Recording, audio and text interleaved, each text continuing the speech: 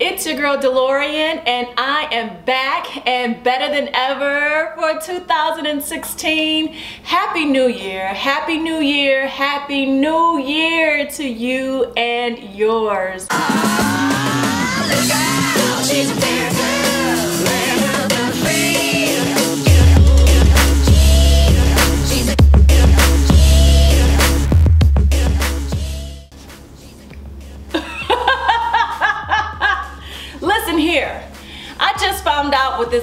thing is uh, a few weeks ago.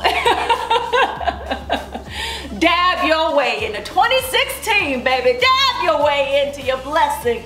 Dab your way into hard work. Just dab your way. Just dab your way.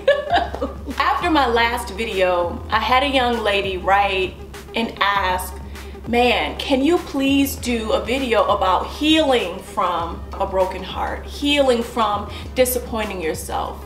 How do you how do you get past that? So, I'm to try very hard to keep this to a minimum. These are the things that really came to my mind as I sat back and thought about, well, when I've been disappointed in myself and when I'm suffering from a broken heart, what what was the process like for me? What did i experience? So here's the situation. You're hurting. You're in pain you've been brokenhearted. You're disappointed in yourself because maybe you realize man i could have prevented this to a point. Um, maybe if i had walked away sooner the pain wouldn't be so severe. You're hurting. And you're missing this man that you love. And you just don't know where to start. All you know is that right now i'm in pain. Right now, I miss this man. Right now, I want him still. And that may be crazy, but I miss him. Or I don't miss him. I hate him. And I don't want him in my life, but I just don't know where to go from here. Right now, all I see is pain. Let the pain in. Go through it. You have to experience the pain.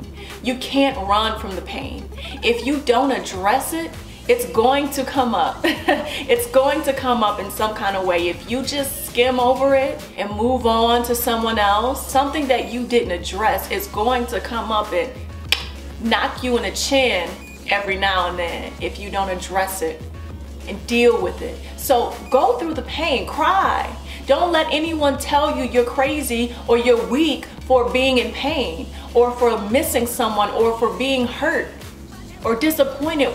We're all human and we all make mistakes and we all do things that we regret. I honestly don't believe in the no regret thing. There are some things I regret. There are some decisions that I made that I wish I had not made. Yes, all things work together for my good, but believe you me, if I could go back and redo some things, baby, I would.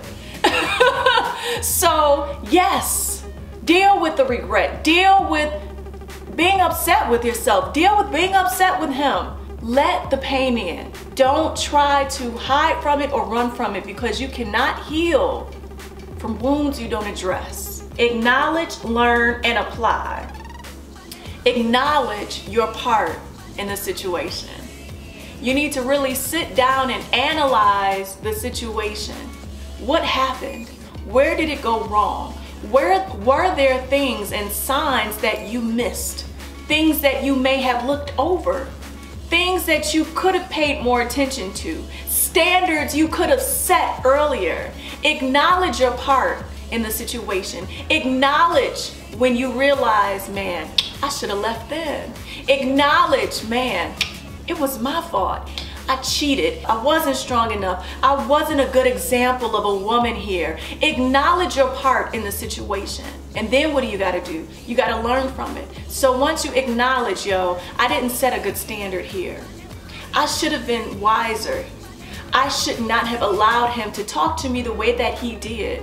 Because what happened is that ultimately became a routine that I allowed. I allowed him to speak negativity over my life so to the point where I became comfortable with it. Life and death are in the power of the tongue, and they that love it shall eat the fruits thereof. They that love it shall be comfortable with it and begin to conform their lives to the things that are being spoken over them, whether it's being spoken by someone else or yourself. So I've allowed him to speak negatively over myself, over my life. And now I've become comfortable with it. And so now I have conditioned myself to believe it. And now I've acted this thing out now. Now I'm acting beneath my standard, beneath who I am. That's why you gotta catch things. You gotta catch things. You gotta be sharp. You gotta catch things as soon as you can. Because the thing is, you'll look up, it'll be a year later, this man has spoken so much death over your life that now you can't even see the greatness in yourself. Or you've spoken so much death over your life, you can't see the greatness. Your parents have spoken so much death over yourself that now all you hear is what your mama told you. You're gonna be just like your father. And so this young man, man, I'm talking to you, you've allowed your mother to speak so much death over yourself that now, yeah, you've become like your father in the negative ways that he was, and now you're treating the women in your life as such because of what your mother has spoken over you and you've become comfortable in it. And now you're acting it out. Words are powerful. Now I have to apply it. So the third step in the acknowledgement pack is to apply. So we have acknowledge your part, learn, and apply because what's gonna happen? Oh, that test is gonna come right back around. Did you learn? Did you stand strong until you saw action and not just words? Did you stand fast until you saw a man treats you how you how you deserve and gives you the respect that you require? have you applied what you learned? This is very crucial. I feel a lot of times we find ourselves holding ourselves up because we are not taking this thing seriously. You cannot be passive in your love life and as it pertains to your heart. You cannot be passive. You got to take this thing seriously because sometimes we are not taught these things and we don't know. So we got to go to the school of hard knocks and teach ourselves so we can teach our children how to hold themselves up to a standard. So even if it's difficult to be strong and not answer the phone, even if it's difficult to hold your standard until you get what you want because you may be alone, even if it's difficult, you've got to do it. You've got to get past to that point where walking in your standard now is the norm and not something you have to aspire to. No contact. Get by yourself. Get some alone time here.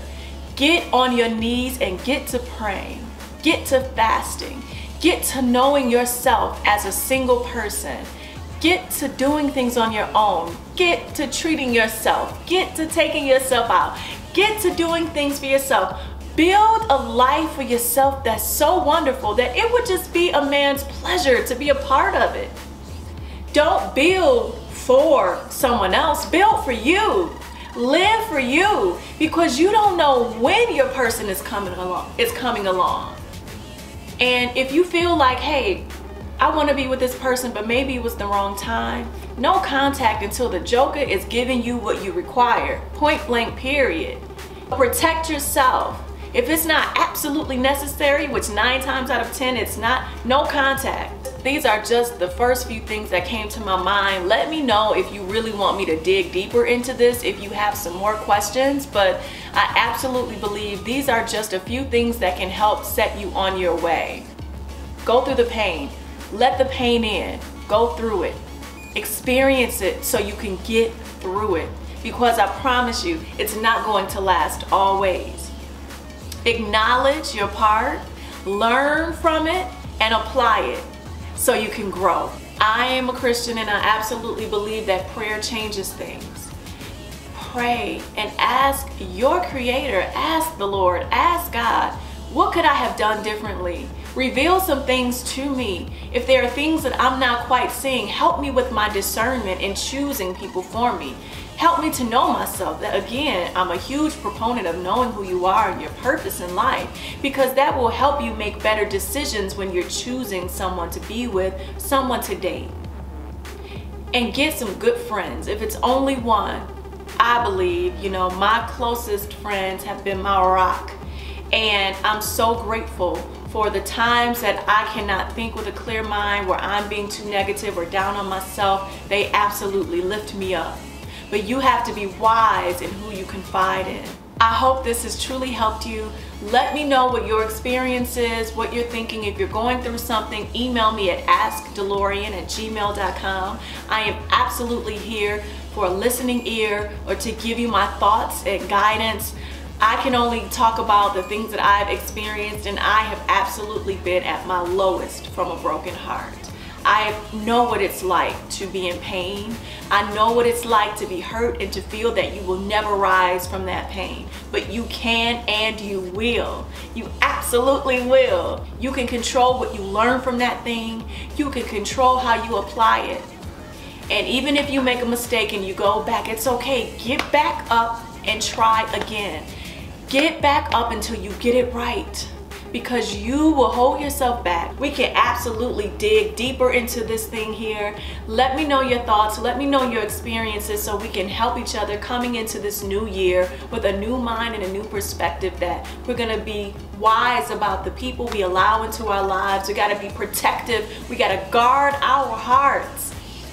And we have to know that this is a person that's in my life because they deserve to be here. I'm not carrying any dead weight. I'm not carrying any second best. I'm not carrying any slackers. I'm not carrying any jokers that's not giving me 100%. I'm not carrying any of that because I'm a wife.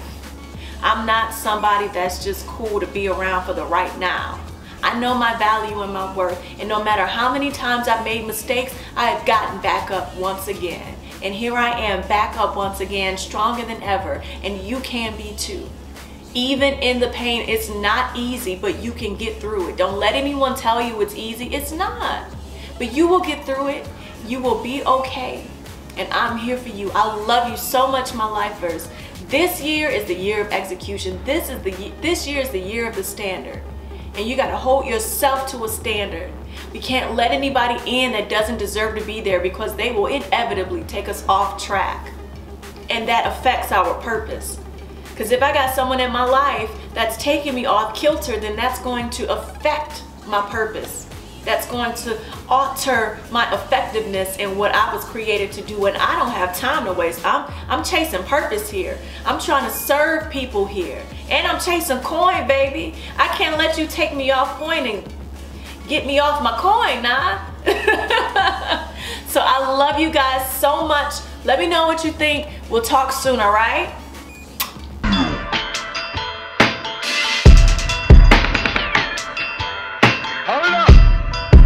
New York, John Gotti issues.